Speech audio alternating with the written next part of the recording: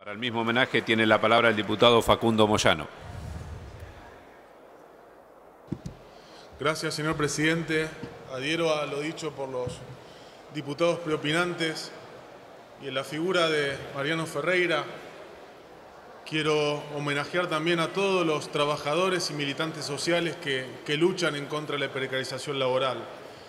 Quiero decir también, hace años vengo trabajando en la Comisión de Legislación del Trabajo y vi pasar innumerables proyectos para regular la tercerización laboral, para eliminarla, para debatirla, para volver a la redacción original de Centeno del 74, para hacer que sobre la actividad accesoria también exista la responsabilidad solidaria de las empresas que subcontratan, porque esta realidad sigue existiendo, no se modificó desde el año 2010, cuando se suscitó este hecho lamentable impulsamos los que tenemos la responsabilidad de defender a los trabajadores tanto en el plano sindical como en el plano político, innumerables iniciativas para discutir el artículo 29, el 29 bis, el 30 y el 31 de la Ley de Contrato de Trabajo.